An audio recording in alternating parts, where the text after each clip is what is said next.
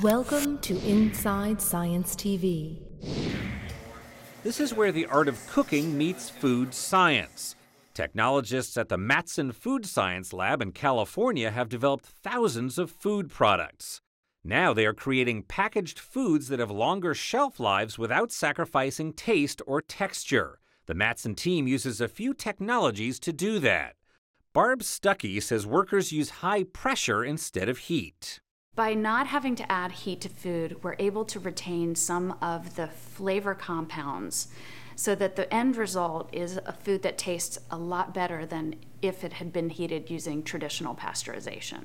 They can tweak the acidity of a jarred sauce so they don't have to use intense heat to kill microbes to make it safe to eat. So we use both a combination of acidity as well as heat to preserve, and that allows us to not treat the product quite so harshly. The result is then the product tastes better.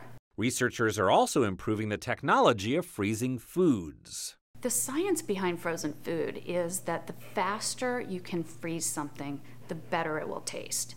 And this is because the faster you freeze something, the smaller the ice crystals or the fewer ice crystals develop. A fast freeze protects food better and helps preserve its natural flavors for long term storage.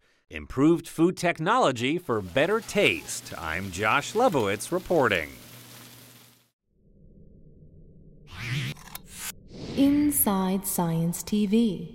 If you enjoyed this edition, follow us on Facebook, Twitter, and YouTube. Powered by the American Institute of Physics and a coalition of underwriters.